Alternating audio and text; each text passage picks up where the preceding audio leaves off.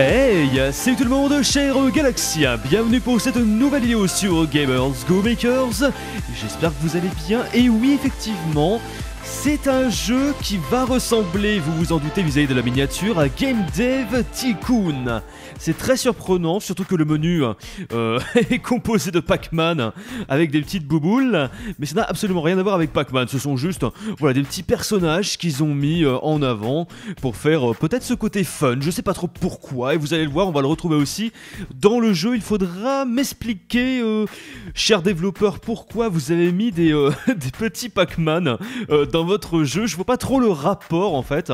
Alors peut-être pour montrer. Ah si, j'ai compris eh oui, si, pour montrer l'évolution, parce que regardez le Pac-Man de gauche, il est tout vieux, le deuxième il est moins vieux, le troisième il est encore moins vieux, le quatrième il est tout épanoui, tout jeune. Et donc oui, j'ai compris, en gros c'est la montée dans le temps, le rétro jusqu'au moderne. Eh, fallait le trouver, et au final c'est une très bonne idée. Alors ce que je vous propose c'est qu'on fasse un petit peu le tour de ce jeu, on va rentrer ici, donc nous avons un menu, alors c'est un jeu indépendant, hein. pour ceux qui se posent la question, euh, je fais un petit remerciement avant de commencer dans le vif du sujet à Marco euh, qui m'a envoyé le jeu tout simplement. Donc ça doit être un, euh, une des personnes qui travaille sur, euh, sur Gamers Go Makers, une personne de l'équipe. Donc vraiment merci à lui. Il me l'a envoyé directement sur ma boîte email. J'ai été assez étonné. en général on m'envoie pas des clés directement. Et donc vraiment merci à toi. Je peux tester ton, ton petit jeu qui ma foi m'a l'air très sympathique et qui ressemble grandement à Game Dev Tycoon. Et donc pour dire tout de suite c'est un jeu qui a été greenlighté évidemment, qui est maintenant disponible sur Steam au prix de 9,99€ N'hésitez pas à aller voir sur Steam. Alors, on a les settings. Dans settings, qu'est-ce qu'on a? Animation, autosave, show, tutoriel. Donc on peut regarder le tuto. Alors nous, on va peut-être pas le mettre. Je vous expliquerai moi-même comment on joue un petit peu au jeu. Surtout que je connais Game Dev Tycoon de base. Et c'est très ressemblant. Voilà au niveau des settings, des options. On va faire New Game. Les amis, et là, regardez-moi ça. Je vais baisser le son. Attendez deux secondes. Voilà, parce que le son était vraiment trop fort, je ne pouvais pas me concentrer dans ce que je disais. Alors, nom de la compagnie, donc là on met le nom de votre, euh, de votre compagnie, vous allez voir ça reprend beaucoup d'éléments quand même de Game Dev Tycoon, mais c'est un jeu que j'avais adoré, donc forcément je pense que je vais aimer celui-ci. Alors, company name, on va choisir... Euh, Galaxien... Non, Galaxien Maker... Galaxien... Hmm, comment dire? Attendez, qu'est-ce qu'on a? On a Activision, c'est nul ça. Euh, EA Games, Galaxian Games. Allez, on va mettre Galaxian Games. Qu'est-ce que c'est moche, mais c'est pas grave. Player name, on va choisir évidemment Galax. J'aurais dû laisser le G, mais c'est pas grave. Alors, difficulté level, donc attention, le jeu n'est pas traduit en français, comme vous pouvez le voir. Hein. C'est de l'anglais. Euh, il n'y a que de l'anglais dans ce jeu. Pas moyen de l'avoir dans une autre langue pour le moment, donc c'est comme Game Tycoon, on aura sûrement une traduction un petit peu plus tard. Donc, difficulté, on va le mettre en normal. Euh, start Decade alors là, on commence soit en 1980, soit en 1990. Regardez-moi le bureau, il change, en fait il est de plus en plus moderne. Et enfin, on peut commencer en l'année 2000. Ça mine de rien, on n'avait pas cette possibilité, si je dis pas de conneries, dans Game Dev Tycoon et c'est génial. View mode, on a full ou Windows, donc nous on va rester évidemment en plein écran, vous en doutez. Aussi, on peut prendre une fille. Voilà, un mec ou une fille. Donc moi, évidemment, pour le fun, je vais prendre une fille, voilà, pour montrer que je ne suis pas macho. Ensuite, on peut changer la couleur des cheveux, alors brun, blonde avec une queue de cheval, brune avec une queue de cheval, rousse avec une queue de cheval, blonde sans queue de cheval, brune, enfin bon, vous avez compris. Euh, voilà, on peut tout changer, donc moi je vais la mettre avec une queue de cheval, et on va prendre une blonde, tiens, pour changer. Hop, on change également la couleur de son t-shirt, en tout cas de son haut. Donc là, je vais le mettre en... non pas en bleu, c'est peut-être pas super joli. En rouge, vu qu'on est dans la chaîne de simulation avec des petits points. Oh, c'est mignon On va changer, c'est pas très beau. Euh, j'aime pas trop les petits points, je sais pas vous ce que vous en pensez. Je trouve pas ça très joli, donc du coup on va changer, on va mettre rien du tout. Voilà, c'est mieux. Ensuite, euh, pantalon noir et chaussures, on peut laisser, bah, je vais laisser écouter les chaussures noires, je trouvais que ça allait très très bien. Franchement, elle est classe, voilà, on confirme. Ensuite, what are you strength? Euh, Je sais pas comment on prononce. Please choose free from the following list to boost your starting skill in this area. Alors là, vous pouvez constater mon magnifique accent anglais. Franchement, c'est rarissime. Vous m'entendrez pas souvent parler anglais, mais là, je n'ai pas le choix vu que c'est un jeu en anglais. Donc gameplay, game engine, graphique. Donc moi, je vais plutôt me porter, les amis. On a le droit du coup à trois euh, ajouts, comme vous pouvez le lire. Choose free. Voilà, ça j'ai compris quand même. Je suis pas très bon en anglais, mais je comprends un tout petit peu. Alors sound, moi je vais augmenter les graphismes. Je vais augmenter le gameplay et je vais augmenter les amis euh, game writing. Allez, on augmente ça. Et là, on doit choisir notre lieu où on veut tout simplement mettre notre boîte. Alors pourquoi il n'y a pas la France? Je ne sais pas. Ils ne doivent pas aimer les Français. Alors évidemment, il y a différentes euh, ajouts. Il y a différentes choses quand vous choisissez un pays. Regardez, South Africa's by far the highest level of games worldwide. Starting Seoul get bonus on sales and fans, plus 10% and plus 10% de fans. Si vous allez par exemple en Allemagne, ça va être plus 10% sales et moins 20% de time pour la recherche. Voilà, donc on a vraiment différentes choses en Angleterre, plus 20% pour le story trend, enfin voilà, vraiment il y a des choses en plus selon le pays dans lequel vous vous installez. Vous installez votre boîte. Voilà, donc nous on va choisir, hmm, si on prenait le Brésil, tiens on va choisir le Brésil. Pour déconner. The first two decades will be initialized. Ok, allez, petit temps de chargement, et voilà. On arrive ici. Alors remarquez quand même, bon, c'est quand même bel et bien euh, copié sur euh, Game Dev Tycoon, mais vous allez voir qu'on n'est pas dans Game Dev Tycoon parce qu'au final, il est peut-être plus profond qu'un Game Dev Tycoon. Alors certes, encore c'est un jeu indépendant, ouais, je voulais dire, voilà, il est pas encore aussi bien fini, alors pourquoi? Parce que vous allez voir qu'il manque évidemment cet affichage classe avec les petites bulles, mais, mais on a déjà quelque chose de très sympatoche. Vous allez voir. Euh, alors, tac, on a la map ici, donc ça c'est pour revoir, écouter la map, euh, la map euh, mondiale, si je puis dire. Là, on peut cliquer de la même façon que sur Game Tycoon sur le personnage et on a Start a New Project. Donc pour lancer un nouveau projet de jeu, rechercher. Donc ça, rechercher par exemple les nouveaux moteurs graphiques, le level design, je suppose les éléments de gameplay, etc. On verra ça plus tard. Et donc voilà, tout est vraiment repris de Game Dev Tycoon. Alors programming, game design Ok, on va plutôt nous euh, programming, tiens. on va rester comme ça. Et donc balance, là c'est également bah, pour les revenus. Voilà, vous allez voir ce que vous allez perdre, ce que vous avez gagné, etc. Donc euh, moi ça me paraît pas mal. Euh, ça me paraît très très bien au niveau en fait de la mise en place du jeu. Après, comme je vous le disais, c'est vrai que ça manque un petit peu d'ergonomie peut-être. Mais sinon, c'est très simple. On a trois carrés également en bas à droite de l'écran. Donc le carré ici, donc c'est exactement pareil que si vous cliquez sur le personnage. On a le menu pause. Donc soit on met en pause, soit on met en play. Et on a également la euh, le petit rouage ici, qui permet de retourner dans les options, de sauvegarder, de charger, de voir les crédits et de partir du jeu. Voilà, donc nous, on va commencer un nouveau projet. Alors, et c'est là qu'on voit quelques différences. Choose a setting for your new game. Donc on va choisir là la catégorie, donc le genre du jeu, action, aventure, casual, éducation, RPG, simulation ou stratégie. Alors moi je vais choisir plutôt les amis un jeu... Il euh, n'y a pas un jeu d'horreur là, attendez. Ouais, ce sera plutôt les jeux d'action. On va prendre un jeu RPG. Voilà. Et là, attendez, je voulais vous montrer un truc. Oui, on va dans les genres action et tout. Et c'est là qu'il y a une grosse différence. Parce que regardez, on va dans le genre action. Et là, on a shoot 'em up, tactical shooter, euh, FPS, euh, TPS, plateforme.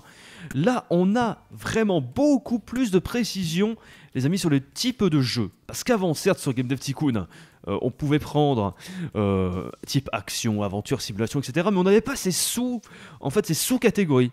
Voilà, c'était pas aussi précis, je trouve.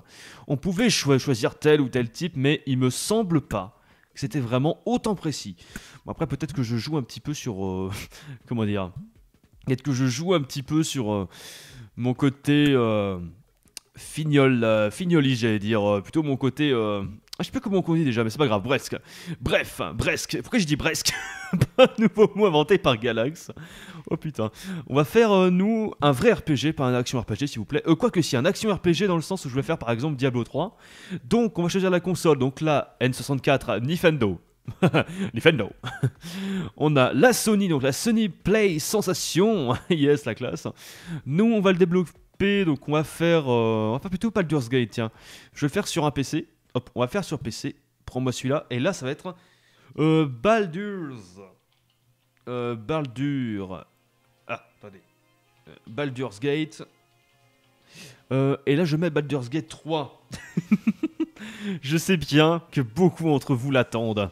Et d'ailleurs, on en a vu un petit aperçu, donc c'est pas Baldur's Gate 3, mais d'un jeu qui a l'air tout aussi intéressant pendant cette Gamescom, bref. Alors, action, FPS, oui, peu importe. on fait OK. Voilà, on lance le truc. Là, on va choisir maintenant, les amis, tout ce qui est vidéo, gameplay, network, etc. Donc, en vidéo, full motion vidéo, script event, cutscene. Alors là, est-ce qu'on met plutôt de la 2D ou de la 3D Moi, je vais essayer de la 2D parce qu'elle est en V5 et V5 c'est mieux que V3. Voilà. Et Baldur's Gate à la base, je vous rappelle que c'était en 2D, hein. à part les Baldur's Gate Dark Alliance 1 et 2 qu'on avait par exemple sur la PS2. Voilà, gameplay, tutoriel achèvement, caractère progression, skill trees, network communication, d'accord, donc oui, il y aura des multijoueurs évidemment, euh, dans un hack and slash c'est obligatoire. Attendez, d'ailleurs, il n'y avait pas hack and slash. Attendez, parce que ça se trouve, je me trompe de truc là. Attendez, on va refaire tout ça. Je me suis trompé. Action. Il n'y avait pas hack and slash. Ah ouais, d'accord, voilà. Donc c'est plutôt dans l'action alors, le hack and slash. Bon, c'est un petit peu mal foutu par contre, parce que ça devrait être un petit peu quand même dans, dans les RPG. Hein. Alors, on reprend. Baldur. Ah, j'ai oublié le B. Super. Baldur. Baldur's Gate. 3. 1, 2, 3. Voilà. Parfait. Allez, on lance.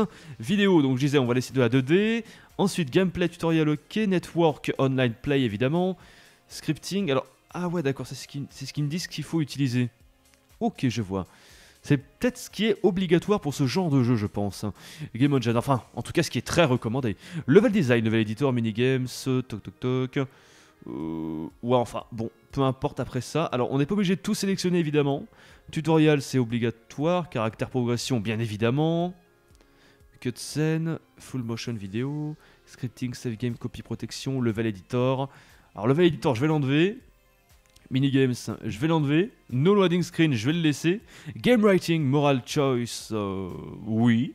Pourquoi pas, c'est aussi présent de temps en temps dans, dans ce type de jeu. Interactive story, euh, ouais, on peut le mettre aussi. Stereo sound, Surround, V1, Soundtrack, on va laisser comme ça. Et évidemment, l'IA, donc IA avancée ou non. Alors oui, on va laisser une IA avancée qui nous attaque. Ça me paraît correct. Et on lance le truc. Alors, Baldur's Gate 3, an action game for EMB PC. Which areas would you like to focus on? Alors, où c'est qu'on va mettre nos points? À savoir qu'on a 6 points et 66 jours, les amis. Donc 6 points, on va les mettre pour un hack and slash du côté du gameplay.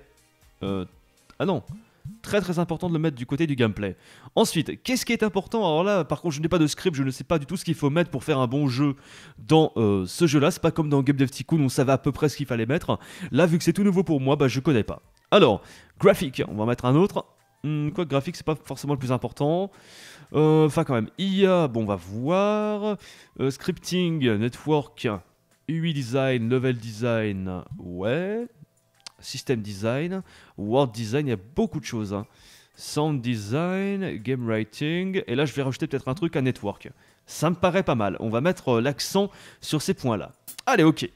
On va voir. À mon avis, on va faire un jeu tout pourri. à mon avis, ça va être vraiment tout moisi ce bordel. Oh putain, j'ai peur. Allez, play évidemment parce que ce n'était pas en play, c'était en pause. Et là, regardez, on retrouve euh, le fameux Pac-Man avec le pourcentage. Baldur's Gate, ah, Project Targeting, Story, Click to Choose. Story budget, alors on peut prendre une histoire. Euh, Alien, là, on doit choisir l'histoire. Donc, ah, et là, on retrouve quand même le côté cyberpunk, etc. Alors, côté histoire, donc c'est un hack and slash, on va rester dans le... Dans classique Evil Fantasy, alors plutôt dans le fantasy moi personnellement, ou Heroes. Moi je dirais plutôt fantasy.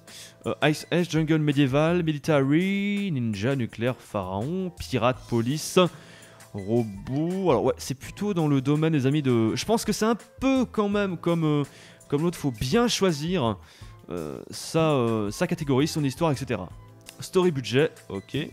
Alors on peut augmenter apparemment. Ah d'accord, je vois.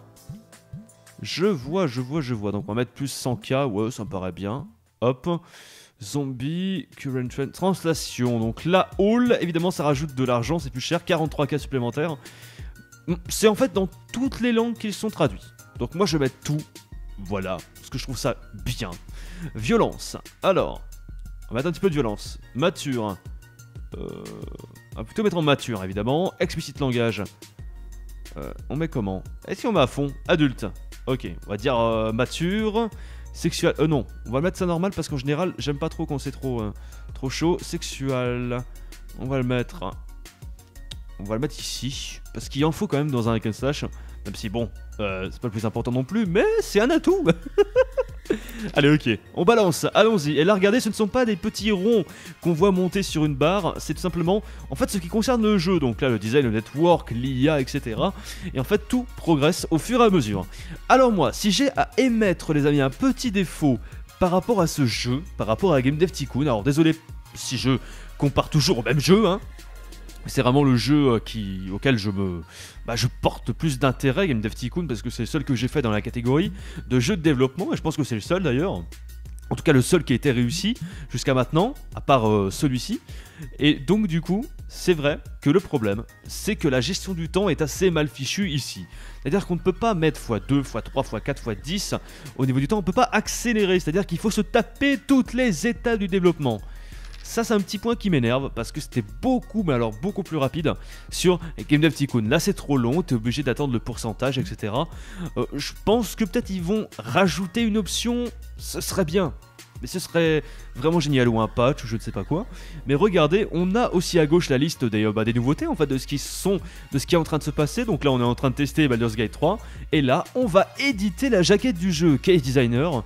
Donc ça, c'est sympa. On l'avait pas également les amis sur sur euh, Game Dev Tycoon, sauf que, alors bon, ce serait bien si on pouvait vraiment mettre nos images, etc. On pourrait faire quelque chose de génial, mais là on ne peut pas euh, tout changer. Voilà, regardez, c'est euh, c'est juste ça en fait. Voilà, on change juste quelques éléments de la jaquette au niveau de la décoration, et pour moi c'est un petit peu limite. Voilà, pour être franc avec vous, c'est un petit peu limite et c'est même pas top top. Voilà, c'est ce que je ressens. Alors, il n'y aura pas quelqu'un avec une épée par hasard? Avec une épée voilà par exemple, ça fait déjà mieux. Après on peut mettre en rouge au niveau du titre, etc. Moi je vais le laisser comme ça, attendez. Moi c'est mieux comme ça. Ok, on balance. Et donc voilà, ça c'est encore un élément qu'on n'avait pas dans le Game Tycoon, mais hélas il est un peu mal exploité ici. On pourrait faire un peu mieux, on pourrait même avoir un, système pour, euh, bah, euh, choisir nos images, pour les mettre justement dans le jeu. Je pense qu'ils peuvent le faire, franchement, pourquoi pas? Bah, je pense pas que c'est impossible de pouvoir faire ça, ou alors dans une base de données où vraiment on peut mettre nos images et tout, euh, en tant que mode, hein, par exemple. Je pense que ça peut le faire. Alors, extra expérience, scripting. On va aller dans du côté network. Alors, game developer Galax. Ok, action, hack and slash. Plus 8 en gameplay, plus 3, plus 5, plus 15 niveau network. Ça, c'est génial. C'est très très bien. Regardez-moi ça. Et donc, ok, donc ça c'est l'amélioration par rapport à moi, game développeur, développeur de jeu. À, ma, à mon perso. Ok. Alors, projet marketing. Baldur's Gate 3. Alors là, Hotline As. On peut ajouter 15K. Euh, ok. Là c'est trop cher. Après, on va faire la radio et le online. On y va. C'est parti, allons-y. J'ai beaucoup moins de sous et vous allez voir que les sous évidemment vont remonter après qu'on va vendre le jeu. You've got a review for Baldur's Gate 3. Alors, show review. Effectivement, je veux voir. Alors, oula, c'est très mauvais. Euh, euh ça dépend. 20, 25%. Hmm, c'est pas fabuleux non plus. Dommage. You should have paid more attention to the following areas graphic sound. Yes. Euh, alors, graphic sound, par contre, c'est pas très bon. C'est vrai que c'est peut-être deux catégories, alors surtout le son, que je n'ai pas privilégié. C'est vrai que j'ai privilégié le gameplay, regardez 8 sur 10 niveau gameplay. Ça c'est bien. Level design 7 sur 10, 6 sur 10, 8 sur 10, 8 sur 10 game writing, 6 sur 10. Alors pour moi, c'est pas forcément des mauvaises notes. Le problème c'est que les graphismes et le, et le son c'est quand même très important dans un jeu. Mais sinon, on voit que le gameplay est très bon. Il y a des intenses combats, etc. Euh, control and Fighting Engine à la régie, euh, Fantastic Sense of Discovery. Il y a quand même des bons côtés. Voilà, c'est pas que du mauvais. Et ça, c'est bien. C'est Jason Smith apparemment qui a fait euh, la review. Donc, daté de Virtual Design. Musique, les musiques sont pas bons, les effets. Et ça, c'est bien. Écoutez, parce que c'est en pourcentage. Déjà, moi, j'adore en fait quand on note un jeu en pourcentage. J'ai toujours trouvé ça génial. Vous allez voir que pour mes futures reviews, ça va être en pourcentage. Que ce soit Forza Horizon, vous verrez, je fais la review, je ferai la review bientôt. Ce sera en pourcentage. Pareil pour la, ma chaîne Gaming, ce sera en pourcentage. Comme vous avez pu voir sur Rambo, hein, si vous êtes passé sur ma chaîne Gaming. Voilà. Et donc, du coup, je suis content parce qu'au final, j'ai eu des bonnes notes où j'avais mis un peu plus de temps. Voilà, donc c'est vrai que le son et, les graphismes, j'aurais pu faire mieux. Bref, donc c'est déjà bien et remarquez que la notation est beaucoup plus mieux fichue que sur euh, Game Dev Tycoon, parce que là on a vraiment les plus, en fait, et les moins, comme un vrai magazine de jeux vidéo. C'est beaucoup plus complet. Donc euh, petit bon point pour ce jeu, et on a également le PEGI. Le PEGI bah, qu'on choisit euh, si on met plus de sexe, etc. Voilà. Alors au niveau du vente, des ventes, comment on se porte 123 units sold. Ok, fan 12. Ah, on a 12 fans, ça y est, on reprend le principe des fans. Les amis, évidemment, de, de Game Dev Tycoon, 28 fans. Je suis content. Par contre, les sous-sous arrivent pas très vite, hein, non? Vous ne trouvez pas? Je trouve pas que ça arrive vite, moi, les sous-sous. Alors, 2190, alors peut-être qu'on a un nombre de semaines pour, ou un nombre de jours pour le jeu. Alors, 578 units sold. On, en vend pas mal pourtant, voyez-vous, je trouve c'est euh, plutôt pas mal. Par contre, le bon point dans ce jeu, c'est qu'on peut mettre en pause. Ça, c'est très bien. Pendant l'étape de développement, on peut mettre en pause. Et ça, c'est pas mal du tout. Regardez-moi ça. Hop, je mets en pause. La musique est même un petit peu moins forte. Ça c'est super et on peut balancer par exemple la création d'un autre jeu. Donc c'est ce que je vais faire. Euh, info, plateforme market share. Euh, quoi que j'ai pas assez de sous là. je vais avoir des problèmes. J'ai pas assez de sous, mesdames, messieurs. Sais pas comment je vais faire. Donc vendons un petit peu. J'espère que les sous vont me revenir. C'est le week-end. Ok, j'ai pas l'impression que les sous arrivent. Ça, ça me fait peur. Hein. Et je perds toujours des sous. Working environnement. D'accord, ça bosse encore et mine de rien, ça se vend quand même plutôt pas mal. Bon, après, bon, c'est pas exceptionnel, mais ça se vend quand même. Ça m'étonne qu'on gagne pas autant d'argent. Bah bon. Alors, recherche 35 jours 100k, j'ai pas les moyens. Gameplay coopérative. Level design. Euh, plutôt faire le level design easter eggs. Ça sera plutôt sympa. 3 sur 10, Baldur's Gate. Ok, donc là, on a deux choses à faire. Ok, donc là on fait bosser un petit peu notre, notre perso. Et donc pour tout vous dire, je sais pas vraiment comment on va faire. Ok. Parce qu'on n'augmente pas en sous. Alors, il a pas une. Alors, je sais qu'il y a un système de contrat sur Game Dev Tycoon. Est-ce qu'il y a dans ce jeu un système de contrat pour se faire de l'argent? Je ne sais pas. je ne sais pas du tout. On va voir. Qu'est-ce qu'on peut faire? Recherche. Donc là, on a déjà vu. Euh, tac. Alors, recherche, info, balance. Annual result, moins 173k. Cash flow, c'est quoi cash flow? D'accord. Je comprends pas tout à fait l'anglais, mais bon. On va y arriver. Oulala, ça fait peur quand je vois ça. ça fait très très peur, les amis. Donc on va attendre un petit peu que ça se vende. Honnêtement, je sais pas ce que je vais faire après. Alors, game is off the market, d'accord, est en dehors du marché. Alors les gens sont contents apparemment, que ce soit sur PC, à slash. Forcément, c'est très populaire, ça va bien ensemble. Ok, alors, Baldur's Gate 3 content de feedback. D'accord, donc là on choisit le pays. Alors on peut voir le pays. Ok, Just Perfect en France, est-ce que ça a marché? Ah ouais. Euh... Ah oui, ça a bien marché en France.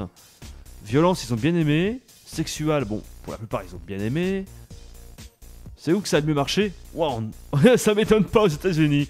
Oh le cliché, dès que c'est violent, les Américains. Oh putain, je vous jure. Ah, au Japon aussi, dès que c'est violent, euh, ça y est. Euh, ok.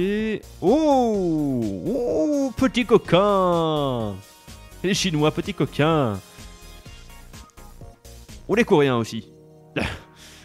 Oula Alors, je sais pas ce que c'est, c'est quoi C'est quel pays? Je, je sais pas. Je sais pas c'est quel drapeau. je suis paumé. Ok, bon, bah, c'est pas mal. Ok, c'est pas mal. Alors, on a récupéré un petit peu d'argent, mais on en perd aussi. On en a perdu. On a 43 fans. Ça, c'est une très bonne nouvelle.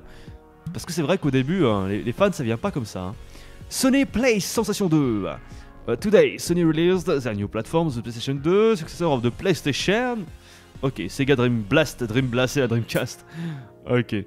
Bon, alors on va essayer de faire autre chose. Par contre, ça me fait peur parce que du coup, j'ai pas grand chose euh, à prendre. Donc ça, ok, je vois. Enfin bon, les années, etc. Uh, start a new project. On va voir ce qu'on. Alors ça me paraît un peu compliqué parce que là on n'a pas d'argent. Alors comment se faire de l'argent? Je risque pas de, commencer un nouveau projet si... Euh, alors on peut faire un add-on aussi, arrêter un petit peu le menu des nouveaux projets. Un jeu classique, c'est quel? New Edition. Ah ouais, New Edition, ok. Un remake en gros. Et un add-on. Si je choisis ça... Euh, choose a game based on the new cycle. Baldur's Gate 3. Toujours sur PC. 3 HD On va voir. Qu'est-ce que ça fait au juste? Ah, et donc du coup, il y a re un coup de développement, je pense. Si on met le son, par exemple, euh, level design. J'avais pas assez travaillé sur les graphismes. Et si on s'essayait au 3D Ça fait quoi si je fais ça?